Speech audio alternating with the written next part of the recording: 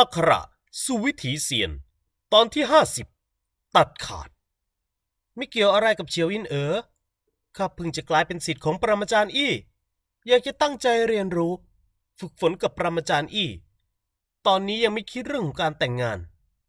เย่เหวยเหลือบมองเฉียวอินเอ๋อที่ก้มหน้า ใบหน้าของเขายังคงเรียบเฉย ไม่มีอะไรมาสั่นไหว ในใจไม่มีความรู้สึกรักใคร่ในตัวของเฉียวอินเอ๋อแล้วจะต้องสนใจทำไม บอกทุกคนในเรื่องที่เฉียวอินเอ๋อหักหน้าตนหรือ แล้วจะมีความหมายอะไร ให้เฉียวอินเอ๋อแสดงความขอโทษหรือ จะขอโทษหรือไม่ก็ไม่สำคัญอีกต่อไป เรื่องนี้ได้เกิดขึ้นไปแล้ว จะย้อนกลับไปก็คงไม่ได้ ก็เหมือนกับกระจกที่แตก ต่อให้ซ่อมมันดีแค่ไหน ก็ยังมีรอยร้าว ในสายตาของเย่เหวยไม่มีเฉียวอินเอ๋ออีกต่อไป เรื่องทั้งหมดในอดีตก็ปล่อยให้มันลอยไปตามลม เขาไม่อยากจะไล่ตามหรือมีความรู้สึกใดๆต่อเฉียวอินเอ๋ออีก เมื่อได้ยินเย่เหวยเรียกเฉียวอินเอ๋ออย่างเย็นชาไม่สนิทชิดเชื้อเหมือนแต่ก่อน เฉียวเจิ้งเฟิงใจหายวับ เรื่องมงคลที่ทำให้ผู้คนต้องอิจฉานี้ อาจจะเจรจาไม่สำเร็จ หากเย่เหวยไม่ชอบเฉียวอินเอ๋อเกรงว่าเย่เจิ้งชิงต้องเคารพความคิดเห็นของเย่เหวยเพราะสถานะของเย่เหวยในตอนนี้ไม่เหมือนเดิมอีกต่อไป ในเมื่อเย่เหวยปฏิเสธออกมาตรงๆ สายตาฉงนของเฉียวอินเอ๋อที่งดงามเราวกับไม่อยากจะเชื่อ ไหนเลยนายจะเคยถูกทำให้อดสูอย่างนี้มาก่อน ตั้งแต่เล็กจนโตมีบุรุษมากมายที่ไล่ตามหลังนาง พยายามเอาอกเอาใจนาง นางยังคิดว่า เรื่องราวที่ผ่านไปแล้วนั้น ขอเพียงนางพยักหน้า เย่เวยก็จะกลับมาเป็นเหมือนเก่า ที่อุ้มนางด้วยฝ่ามือ แต่เย่เวยปฏิเสธ ในใจของเฉียวอินเอ๋อปวดร้าวแล้วกับถูกเฉือน น้ำตาเอ่อล้นในดวงตาอย่างไม่รู้ตัว พ่ออะไรเฉียวอินเอ๋อเงยหน้ามองเย่เหวยตะโกนถามเสียงดัง เป็นพ่อลินเจียเยียนหรือ พ่ออะไรหรือ เย่เหวยไม่คิดว่าเฉียวอินเอ๋อจะถามคำถามนี้กับตน จึงรู้สึกขบขัน จ้องไปที่นางแล้วพูดว่าเฉียวอินเอ๋อนี่เจ้าไม่รู้ถึงสาเหตุงั้นหรือ เจ้าเป็นคนพูดเอง ว่าพวกเราอยู่กันคนละโลก เป็นเจ้าที่พูดเองว่า มังกรไม่อยู่ร่วมกับงู เป็นเจ้าที่สร้างความอัปยศให้ข้าต่อหน้าผู้เรียนมากมายที่เรือนชิงหลวน หรือว่าเจ้าลืมไปแล้ว วันนี้ข้าปฏิเสธเรื่องแต่งงาน เจ้ารู้สึกว่าถูกดูถูกหรือ เชียวอินเอ๋อเจ้าช่างยโสเหมือนตัวเองเป็นศูนย์กลางของโลก แต่ไม่ใช่ทุกคนทั้งยุทธภพที่จะหมุนรอบตัวเจ้า จริงที่ว่าเจ้าช่างงดงาม ไม่ว่าเมื่อไหร่ก็มีบุรุษมากมายวิ่งไล่ตามเจ้า ไม่ว่าเจ้าจะพูดดูถูกเขาอย่างไร พวกเขาจะสิโรราบยอมทำตามและห้อยตามหลังของเจ้าต่อ แต่ข้าเย่เวยไม่ใช่ เจ้าคิดว่าเมื่อก่อนที่ข้าห่วงใยเจ้า เป็นเพราะคิดเลยเถิดกับเจ้าหรืออย่าได้มโนคิดไปเอง ตั้งแต่เล็กจนโตข้าไม่เคยมีความรู้สึกฉันชู้สาวกับเจ้าข้าคิดว่าเจ้าเป็นเพียงน้องสาวที่ข้าต้องคอยดูแลเท่านั้น จนเวลาผ่านไปข้าจึงได้ค้นพบว่า ความห่วงใยนั้น มันช่างน่าหัวเราะ แล้วในตอนนี้ข้ายังจะเหลือเยื่อใยหรือ ในตอนที่การทดสอบของข้าเป็นเพียงทะเลแห่งจิตสีชาติ เจ้าปฏิบัติต่อข้าอย่างไรล่ะ ในใจเจ้าคือความสมเพชและดูถูกราวกับว่าข้าเป็นเพียงขยะที่ถูกเคลื่องมา แม้แต่จะเดินด้วยกัน เจ้ายังรู้สึกละอาย แต่ตอนนี้ข้าได้เป็นสิทธิผู้สืบทอดของปรมาจารย์อี้ เจ้าเลยคิดว่าข้าคู่ควรกับเจ้าแล้วหรือ แค่เจ้ากวักมือเรียก ข้าก็จะทำตาละห้อยตามเจ้าไปหรือ เจ้าดูถูกข้าเย่ไว้เกินไปหรือเปล่า ข้าจะไม่ถนอมน้ำใจหรือ เจ้ามีคุณค่าอะไรที่อวดดี หรือเพราะเจ้ามีรูปลักษณ์ที่สวยงาม มีพรสวรรค์ที่ไม่เลวหรือ ภรรยาในอนาคตของข้าเย่เหวยจะต้องงามพร้อมกว่าเจ้าเป็นร้อยเท่าพันเท่า การพัฒนาของข้าในอนาคต ก็จะต้องไปถึงระดับที่เลยหน้าเจ้าจนไม่อาจจะเอื้อมได้ เดิมทีเย่เหวยไม่อยากจะพูดมาก แต่ในเมื่อเฉียวอินเอ๋ออยากจะเข้าใจ เขาจึงต้องพูดออกมาให้ชัดเจน ตั้งแต่นี้ต่อไป ตัดขาดเยื่อใยต่อเฉียวอินเอ๋ออีกทั้ง เย่เหวยยังหวังว่าเฉียวอินเอ๋อจะไม่ทำตัวยะโสโอหังเหมือนเมื่อก่อนคำพูดเหล่านี้ราวกับมีดที่กรีดใจของเฉียวอินเอ๋อสองแก้มมีน้ำตาไหลอาบ ที่แท้เย่เหวยมองนางเป็นเหมือนน้องสาวคนหนึ่ง พูดตามเหตุผลถึงจะถูกปฏิเสธนางก็ควรที่จะยิ้มย่อแล้วจากไปถึงจะถูก แต่ทำไมในใจของนางจึงเจ็บปวดถึงเพียงนี้ ความทรงจำราวกับน้ำขึ้นน้ำลง ในหัวใจพวกเขาสนิทสนมกันมาก เล่นด้วยกัน ฝึกฝนด้วยกัน เย่เหวยมักจะนำของเล่นสนุกสนุกของกินอร่อยๆมาให้นาง ทุกครั้งนางชอบที่จะดึงชายเสื้อของเย่เหวยสบายใจที่จะเรียกพี่เย่เหวยจนถึงบัดนี้ นางเพิ่งค้นพบว่า แท้จริงแล้วนางลืมความรู้สึกเหล่านี้ไม่ได้เลย นางยังคิดว่า ไม่ว่าจะเดินไปไกลแค่ไหน ขอเพียงนางหันกลับมา เย่เวยจะรอนางอยู่ที่เดิม แต่ในตอนนี้ ในตอนที่นางหันกลับมา กลับพบว่าเย่เวยเดินไปไกลเสียแล้ว ในที่สุดก็เหลือเพียงนางเพียงคนเดียว นางอยากจะย้อนกลับไป อยากจะเป็นเหมือนตอนเด็กที่ถูกเย่เวยอบอุ้ม พี่เย่เวย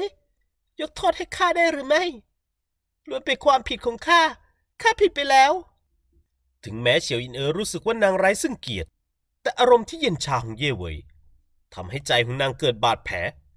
นางจึงเข้าใจในทันที ว่าตนเองทำร้ายเย่เวยอย่างสาหัส นางในตอนนั้นมีแต่ความโอหังและความดื้อดึง มีอะไรที่ไม่ดี ข้ายินยอมจะเปลี่ยนแปลง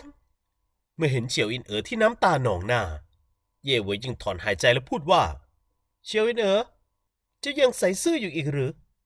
หากข้าไม่ได้กลายเป็นสิทธิ์ของปรมาจารย์อี้ เจ้าจะยอมอ่อนน้อมมาขอโทษข้าหรือ ข้ามองเจ้าได้ทะลุปลุกโปร่งแล้ว ข้าและเจ้าคงไปทางเดียวกันไม่ได้ บางสิ่งบางอย่างที่ผ่านไปแล้ว คงไม่อาจจะย้อนกลับมาได้อีก เมื่อได้ยินคำพูดของเย่เหวยเชียวอินเอ๋อปัดชายเสื้อของตน มันก็จริง หากเย่เหวยไม่ได้กลายเป็นสิทธิ์ของปรมาจารย์อี้ นางก็คงจะทำให้เย่เหวยเจ็บปวดยิ่งกว่าเดิม นางรู้สึกเสียใจ เสียใจที่ตนเองละเลยความรู้สึกของเย่เหวย ในที่สุดนางก็เข้าใจว่า ความรู้สึกที่เสียไปแล้วนั้นเอากลับคืนมาไม่ได้ ขอโทษด้วย ข้าจะไปดูอาการของพี่เย่ฉงสักหน่อย ขอตัวก่อน เย่เหวยยกมือคำนับเฉียวเจิ้งฝึง แต่ไม่ได้แสดงความเคารพนัก เขาหันหลังแล้วเดินออกไปข้างนอก สถานะของเย่เหวยในตอนนี้ แม้แต่ผู้นำตระกูลเฉียวก็ไม่กล้าจะพูดอะไร ทางเข้าประตูไกลออกไป แสงแดดสีทองสาดส่องเข้ามา เจอจ้าในใจที่หม่นหมองของเย่เหวยเขาก้าวเท้าออกไปด้านนอก บางคนใช้ทั้งชีวิตลอยไปตามสายลม ชีวิตค่อยๆ ดับมอดลง จนหายไปไม่เหลือร่องรอย มองเงาของเย่เหวยที่ค่อย ๆ ไปไกล ในใจของเฉียวอินเอ๋อว่างเปล่า นางเข้าใจดีว่าสิ่งที่สำคัญสำหรับนางได้มาลายหายไปจนหมดสิ้น ไร้ซึ่งพลังจะหวนคืน หลังจากเย่เหวยออกไป บรรยากาศในเรือนรับรองดูตึงเครียด เฉียวเจิ้งเฟิงราวกับอยู่ในสถานการณ์ที่ยากลำบาก เขาไม่รู้มาก่อนเลยว่า ระหว่างเย่เวยและเฉียวอินเอ๋อจะเกิดเรื่องมากมายขึ้น จึงยกชาขึ้นมาสด ยิ้มอย่างอึดอัดและพูดว่า เด็กๆผิดใจกัน อีกสักพักก็คงจะดีกัน เย่เวยเป็นถึงสิทธิผู้สืบทอดของปรมาจารย์อีหากได้จัดการเรื่องมันหมายกับเย่เวยตระกูลเฉียวคงอยู่ภายใต้การคุ้มครองของปรมาจารย์อี อีกทั้งสามตระกูลใหญ่แห่งเมืองชิงเย่ ก็ไม่กล้าที่จะมามีเรื่องกับตระกูลเฉียว เรื่องนี้จึงมีความหมายต่อตระกูลเฉียวมากแค่ไหน แต่เดิมคิดว่าความสัมพันธ์ของเฉียวอินเอ๋อและเย่เหวยยังคงสนิทสนมกัน จึงคิดว่าจะได้สิทธิพิเศษแน่ๆ แต่ไม่คิดว่าเฉียวอินเอ๋อจะทำเสียเรื่อง แค่เด็กๆผิดใจกันงั้นหรือ ในใจของเย่เจิ้งชิงช่างเย็นชานัก แต่เดิมเขาคิดว่าเย่เหวยยังคงสนใจในตัวของเฉียวอินเอ๋อจึงได้ข่มความไม่พอใจที่มีต่อตระกูลเฉียวเอาไว้ แต่ในตอนนี้ เย่เจิงชิงจะต้องไว้หน้าตระกูลเฉียวอยู่อีกหรือ อืม มังกรไม่อยู่ร่วมกับงู พูดได้ดี เย่เจิงชิงพูดอย่างเหน็บแนม เมื่อได้ยินคำพูดของเย่เจิงชิง เฉียวเจิ้งเฟิงละอายใจยิ่งกว่าเดิม บนใบหน้าซีดเซียวแล้วก็แดงกำเมื่อเห็นแผ่นหลังของเย่เวยที่ออกไปอย่างโดดเดี่ยวเดียวดายสีหน้าของเชียวหวานก็ค่อยๆเปลี่ยน สายตาที่มองเฉียวอินเอ๋อก็ไม่ดูอบอุ่นอีกต่อไป ทั้งยังเย็นชา ถึงแม้ว่านางจะแซ่เฉียว แต่ก็เป็นเพียงตระกูลสาขา แต่นางก็เป็นมารดาของเย่เหวยแน่นอนว่านางจะต้องอยู่ฝั่งเดียวกันกับเย่เหวยในเมื่อบุตรชายของตนไม่พอใจ ไม่อยากจะมีเรื่องมงคลนี้ ก็ไม่เป็นไร ผู้นำตระกูลเฉียว ข้าขอตัวก่อน เย่อี้บิดาของเย่เหวยยืนขึ้นพูดได้ท่าทีที่เย็นชาแล้วก็หันหลังเดินออกไป หลังจากที่การทดสอบของเย่เหวยเป็นเพียงทะเลแห่งจิตสีชาติ ไม่ว่าจะเฉียวหวานหรือเย่อี ในใจเจ็บปวดมาก พวกเขาเข้าใจถึงความกดดันที่เย่เหวยได้รับชิวอินเอ๋อกลับทำให้เย่เหวยต้องอับยศถึงเพียงนี้ มีหน้าล่ะ เย่เหวยถึงได้พูดเย็นชากับเชียวอินเอ๋อสำหรับความเจ็บปวดของเย่เหวยพวกเขาต่างรับรู้และเห็นใจ ในเมื่อเย่เหวยปฏิเสธการแต่งงาน พวกเขาก็ไม่มีความจำเป็นที่จะต้องอยู่ต่อ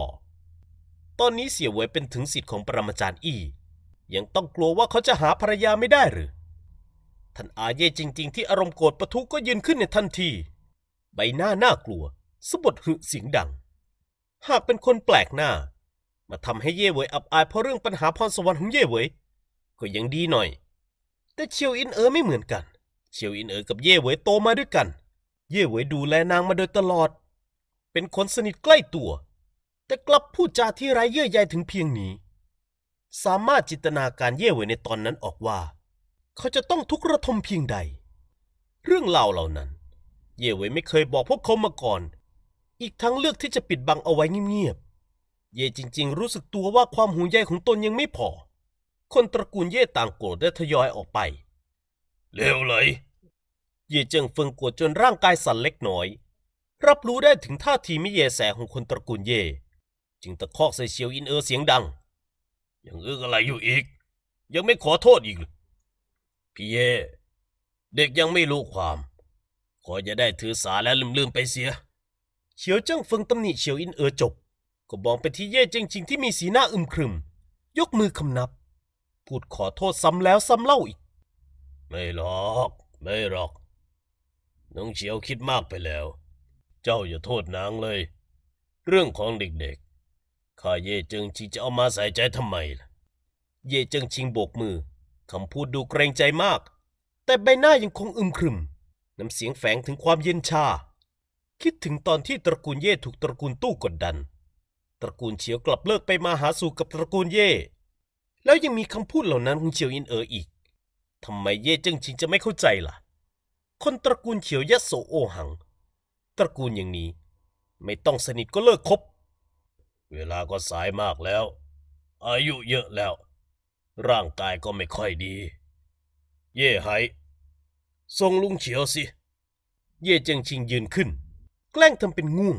ทำท่าทางเหมือนคนง่วงนอนเหนื่อยล้า พูดด้วยน้ำเสียงที่น่าเกรงขามได้ท่านพ่อ เย่ไหยืนขึ้น พูดอย่างไม่แยแส ลุงเฉียว เชิญทางนี้ สายมากแล้วหรือ เหนื่อยแล้วหรือ เฉียวเจิ้งเฟิงมีรอยยิ้มที่ดูทุกข์ระทม เย่เจิงชิงเป็นถึงผู้แข็งแกร่งอี้หยวนสามดารากำลังวังชาแข็งแรง เขาจะเหนื่อยหรือ เฉียวเจิ้งเฟิงมองเฉียวอินเอ๋ออย่างเดือดดาล ตระกูลเย่ต่างก็โกรธจริง